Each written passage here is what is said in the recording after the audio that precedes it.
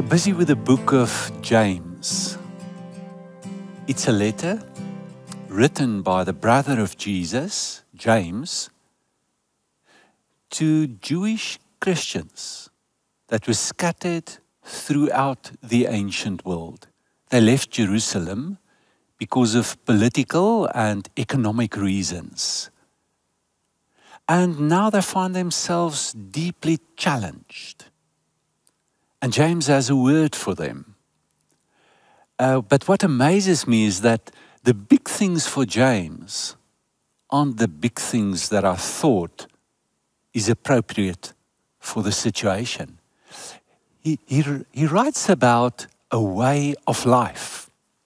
His big issues is not immigration, it's not politics, it's not economics, but it's the way that they look at life, at themselves, at God, that it challenges. So he has a problem with the way that they live. He gives a reason for the problem, and then there's an invitation. So let's look at the problem. His problem is now listen, you say, today or tomorrow we will go to this or that city, we'll spend a year there, carry on business, and make money. Um, what's the problem with that? It sounds like a visionary. It sounds like somebody that is very intentional about life, proactive, responsible, strategic. All research shows that somebody that look at life this way will do much better than somebody that just takes life in its stride. He has a when, a where, a what, a why. But it's a big problem to James to live this way. Reminds me of the difference between a big smell and a small smell. Uh, there's a city, a little town actually, not far from here, with a big smell. You can say a stench. If you approach the town, you'll first roll down the windows. And then you'll realize your mistake. You said, please close the windows. It's coming from the outside. And as you enter the town, you'll be amazed. People are oblivious to the smell. They just go on their normal business as if nothing's wrong. Um, I once visited a lady that made an excuse as we entered the house and said, Please excuse us. Um, there's a little smell in the house. A pipe broke. And I couldn't believe it. There was a little smell. And she's um, upset about the little smell, but she ignores the big smell in the town. After a while, you get used to it. It doesn't matter. And, and, and that's James's problem. You know, there's this big thing it's so normal. Everybody does it. We aren't even aware of it. But it is something big to James. He gives the reason why it's a problem. He says the reason why you do this is because you boast in your arrogant schemes. So he says, you boast. Now, boasting was a, a practice, acknowledged practice in ancient times. They even ritualized boasting in a certain circumstances, like warfare, for instance. When two parties come together to make war, to fight each other, they would first boast. So they would say, for instance, somebody would stand up from the one army and say, Just look at our cannon. You won't be able to hide anywhere. It's the best cannon that's ever been built. So, what do they do? They are actually boasting on their ingenuity, on, on, on, on the knowledge that they have. You know? the, the other group would say, uh, Perhaps you've forgotten, we haven't lost a fight yet in three years' time. What are they doing? They're boasting about their success. The other party would say, Listen here, look at our Look at our numbers. We outnumber you. We we've got strength. We boast in our strength. To boast means to focus on uh, something that you have and then to value it and then to, to really ascribe that ability to yourself, to own it for yourself. Of course, you do it to accomplish something. We boast today, just as in ancient times. Uh, but it's a bit more sophisticated, the way that we do it today. So the prophet Jeremiah says, Don't let the wise brag or boast of their wisdom don't let the heroes brag of their exploits. Don't let the rich brag of their riches. If you brag, brag of this and this only that you understand and that you know me. I'm God. And I act in loyal love. I do what's right and I set things right and fair. And I delight in those who do the same things.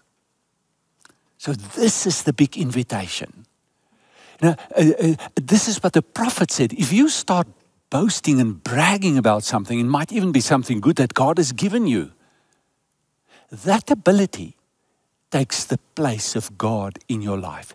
You take the place of God in your life. You ascribe certain abilities to yourself that's not your own. Augustinus said there are two types of characteristics, attributes of God. The communicable, the communicable attributes of God are those that are transferable. It's like um, patience, love, goodness, the fruit of the Spirit, Galatians 5:22. Those are attributes that you can share in. You can become like God. But then there are the uncommunicable attributes of God. They are not transferable. It has to do with the omnis, like the omnipresence of God. Uh, you cannot be omnipresent. It's, it's, it's like the omniscience, you know, the all knowingness of God, the omnipotence of God. The all, he's all powerful. You can't have it. And Augustinus said, when you try to access or to own those attributes of God, you take the place of God in your life. And your life will actually fall apart. It's a big sin. It's the original sin that I know better. And I can do it. And that's exactly what these young Christians did. And that was James's problem. You think you know, you think you can, but you can't. You can't. And, and of course, um, life will show you that you can't. So, this phenomena can perhaps be explained in terms of splitting. Yes, Christians, they believe in God, but they split their life in certain facets or compartments. And what they did was business is my is my domain. Um, of course, religion is God's domain. I can't do anything about sin and forgiveness and grace and all of that. I leave that to God. But business, I know. I will do it. It, it doesn't show up the splitting better than in finances. And of course, 4 verse 1, relationships. In our life today, perhaps, business and sexuality. And um, here's the problem with it that it will either lead to inflation or deflation. Inflation of the ego. You do things, you're successful. What do you think? Look at what I've done. Now, the big, the big, the law says in Deuteronomium 8, verse 18, for instance, that you shouldn't boast and say and think that you did things through your own ability or through your own ingenuity. It's all a gift from God. It's inflated. You think you're on top of the mountain, uh, the world is your oyster, there's anything you can do that you want to do, that's inflated. you will deflate if you inflate it because you'll get to your own limits. You realize, I don't know. It's out of my control. It's a frightening experience, especially if you thought you were in control and you can do anything. You can really determine your own security, success, wealth, health, everything. It will lead to deflation. It's as if James invites us from a psychological perspective to move to a place of integration. So, so, so this is the big invitation. Instead, you ought to say, if it's the will of God and we will live, we will do this or that. So, so here's this thing. Um, still live with a dream, do strategic planning, but you do it from a total different place, a total different paradigm. You look at life differently, at yourself differently, at God differently. You say DV. Um, Deo volente. God willing. If I live, just look at the invitation of James here. If it's God's will, you will live. You live because God wills it. Well, He willed you, that's why you exist. But not only that, He sustains you. You are now alive because God wants it. And He gives to you Paul says in Acts 17 25, he, he himself gives everyone life and breath and everything else. That means that it's all grace. You didn't do anything to receive the gift of life. It's the biggest gift that you ever received.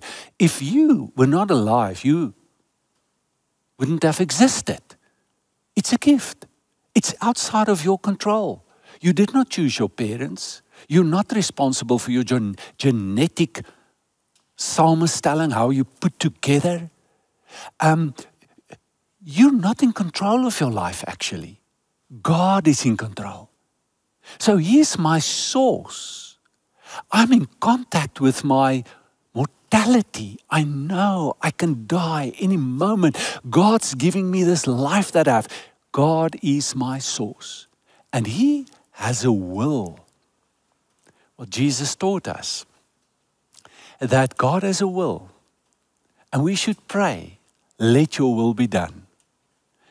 God has a will, and in heaven, His will is accomplished. That, that's what makes heaven heaven um, everything that happens there is according to His will. That's why it's so wonderful. On earth, not yet. And that's the big will of God. The big thing that God is doing today is that He's establishing His reign and His will on earth. And He invites us to become part of it. That's why we should pray. By praying, we are participating in this big event. For His will to come down. But here's the big thing he also has a will for your life. There's the big will of God, and we can be very certain about the big will of God, but we aren't always sure and certain about His specific will for us in the circumstances that we are in. And that's why He say, if it is God's will, I can, I must hang on loosely to it. Um, I trust it. I hope so but I'm not always sure. There are some times that I'm sure, but here's a danger that it can become a new way of boasting. I know exactly what God, God's will is in the circumstances. That's, of course, the reason for a lot of wars and fighting going on. We are right and we know exactly what God wants for us, and we do His will now. And um, the first church, for instance, had to make a big decision whether the good news of Jesus was just for the Jews or was it also for the Gentiles? They made the decision. And they said, It seemed good to us and to the Holy Spirit. Can you imagine? They weren't even 100% sure, heard a voice from heaven or something. They, they discussed it, looked at all the evidences and, and sensed, discerned. It seems right to us and to the Holy Spirit. So the will of God is, is not always clear, but here's a big thing. It can and it will definitely be at some point in time in your life be against your will. You would want something else. But it's taken from you. And that, that's why it's so powerful to live with a if. Because if my whole life revolves around this thing happening to me, I will lose my life if it doesn't happen. But if I live with the if, I'm fine. If it doesn't happen, I'm still in the hands of God. I still trust the will, the wonderful good will of God will be done. I am not alone. God is in my life and He works in my life. And He knows better than what I know. I trust Him. I surrender. So, so here's the big movement accepting the things that happen to you. At this time, we are all going through losses. Things happened unexpectedly. Uh, we could not foreseen it. It took away a lot of us, a lot of what we have. We're in pain. We accept it. But we let go of our desire of security, survival. We let go of our deep desire to be in control and to have power. We let go of our deep desire of acceptance and of approval of other people. Those are the three basic, what we think are needs but are actually desires. Because what you will find out is that I can live without. I can live without the things that I've lost. It's a lie to think that my life is at an end. It's not. I trust God to bring a new life about in my life now. So I surrender to God. I let go in order to surrender. It's part of the whole surrendering process. So here's the invitation to surrender to God. So, where you at this moment? Perhaps you're at a place where you become aware of the split that you live with in your life. I hope there's a big desire in you to become one. Everything that you desire, think of, talk of, decide, do, are all the same. It's one. It's wholeness. And that's part of our spiritual journey. It's towards wholeness. Perhaps you become aware of the fact that you don't think about life the way God invites you to.